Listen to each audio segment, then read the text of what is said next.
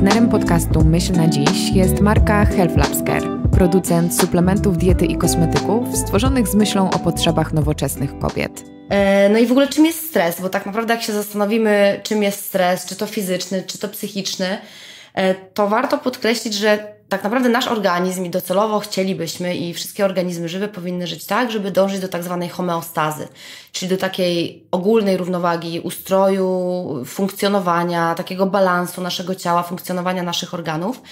I stres jest niczym innym jak po prostu pojawieniem się jakiegoś bodźca, czy to z zewnątrz, czy to wewnątrz naszego organizmu, który tą homeostazę będzie zaburzał. E, I rzeczywiście jest też tak, że i to jeszcze takie zagadnienia e, psychologiczne pozwoliły wyróżnić nam takie trzy typy stresu, bo też wszystko w zależności jak my na ten stres reagujemy. E, I wyróżniono dystres, czyli stres taki negatywny, stres, który Negatywny w takim, w takim e, znaczeniu, że jest to stres, który trochę nas paraliżuje do działania. Pojawia się jakiś bodziec, który e, no, bardzo mocno aktywuje nas, tak jakby w, u, nasz układ nerwowy. E, I często mówi się, że ta, ten rodzaj stresu związany jest z takimi osobami, które nie do końca radzą sobie z, z interpretacją sytuacji albo są na przykład mhm. nadwrażliwe. Okay. Ale też przykład takiej e, sytuacji? No, stres na przykład przed egzaminem, powiedzmy, mhm. czyli właśnie dla kogoś to może być dystres, czyli totalnie nas będzie paraliżował przed wykonaniem jakiegoś zadania, przed skupieniem się. Czyli blokada kompletna. Totalnie, a dla kogoś to może być eustres. Eustres, czyli stres pozytywny. Mhm. Ten sam bodziec zadziała na mnie w taki sposób, że mnie to zmotywuje do działania, kurczę, skoczy mi ciśnienie krwi, neuroprzekaźniki, wpłynie to na mój mózg i będzie to działało pozytywnie. No wiadomo, oczywiście między tym eustresem czy tym dystresem, wiesz, to jest tak jak w przypadku, nie wiem, trzech sylwetek ludzi, tak? Jest, mhm. zawsze jakieś wartości pomiędzy, natomiast jakby wyróżnia się coś, co cię będzie bardzo pozytywnie jakoś mobilizować, coś, co trochę paraliżuje. I jest też y, neustres, czyli jakby taki właśnie tutaj bodziec, który dla ciebie może być bardzo stresujący, dla mnie będzie obojętny. Czyli mhm. po pierwsze jest to, jak my interpretujemy ten stres, bo dla każdego ten bodziec może być inny.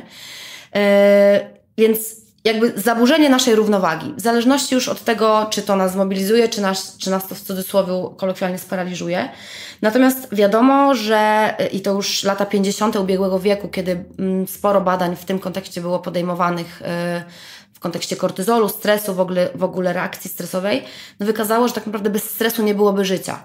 Dlatego, że y, stres jest po prostu niezbędny, o czym zaraz powiem, jeżeli chodzi o takie kaskady przemian, co się dzieje w naszym organizmie, ale też dzisiaj coraz częściej się mówi o istnieniu tak zwanego zjawiska hormezy. Nie mhm. wiem, czy, czy wiesz. Nie słyszałam nigdy. Hormeza to jest po prostu taki jakby, to jest taki stan organizmu, kiedy działamy pewnym stresorem, normalnie warunkach takich fizjologicznych uznajemy to za stresor, czyli na przykład zimna, tem zimna y, temperatura, wysoka temperatura, jakieś szoki cieplne, czy nawet głód, mhm. o którym dosyć często gadamy w kontekście postu, ale działamy, y, działamy na nasz organizm jakby małymi dawkami tego bodźca, tylko po to, żeby organizm wzmocnić. I to jest tak zwane zjawisko hormezy, czyli działamy y, jakby microdosingiem, że tak powiem, czyli mm, małą ilością pewnego bodźca, po to, aby organizm wzmocnić, przyzwyczaić, aby organizm miał jakby czas Y, na to, żeby się do tego zaadoptować, co koniec końców jakby wychodzi dla nas na lepsze, więc jakby to zjawisko hormezy też jest mocno upakowane w kontekście tego stresu. Natomiast rzeczywiście demonizujemy to i, i stres jest niezbędny. Tak jak mówiłaś na początku, stres jest y, absolutnie zjawiskiem niezbędnym, jest mega atawistyczny, czyli tak naprawdę pierwotny. Od, od, pierwotny od zarania dziejów nam towarzyszył, bo tak naprawdę y, już mówi się często o tak zwanym pojęciu flight or fight, czyli po prostu walcz się lub uciekaj. I to jest rzeczywiście ten stres krótkotrwały, czyli y, w ogóle wyróżniamy takie dwa systemy biologiczne odpowiedzi na stres, czyli stres czyli część współczulna naszego układu nerwowego, taka, która ma nas pobudzić. Idzie sobie e, z rdzenia nadnerczy sygnał, wydzielana jest adrenalina i noradrenalina. Następuje pobudzenie naszego organizmu, e, zwiększenie ciśnienia krwi, roz, roztwarcie źrenic, y, poszerzają się nasze oskrzela i to wszystko jest po to, abyśmy my w danym momencie zareagowali na bodziec. Nie mhm. wiem, uciekli przed zwierzem, no czy zmobilizowali, tak, to słynne uciekanie przed lwem, czy zmobilizowali się po prostu do, do podjęcia jakiegoś działania.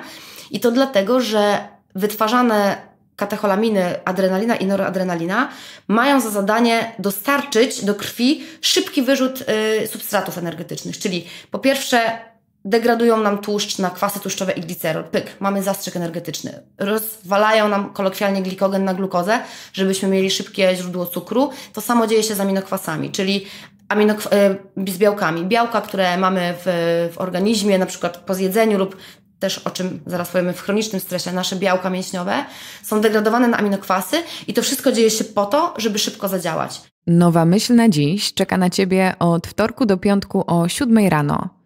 Pełna rozmowa, z której pochodzi fragment, dostępna jest na Karolina Sobańska Podcast, a link do konkretnego odcinka znajdziesz w opisie.